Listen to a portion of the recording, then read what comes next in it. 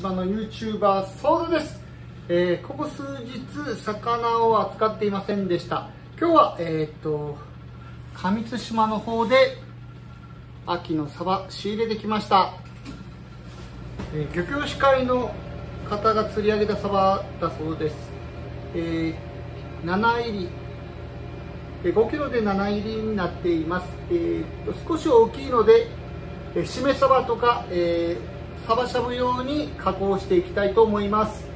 ぜひ対馬のサバ味わってください。